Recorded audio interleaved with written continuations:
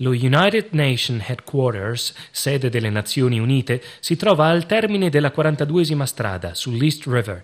L'imponente complesso di edifici in vetro e acciaio risale agli anni 50 ed è opera di due tra i maggiori architetti dell'epoca, Le Corbusier e Niemeyer. Alle pareti della hall e della sala dell'Assemblea Generale si trovano quadri provenienti da tutto il mondo,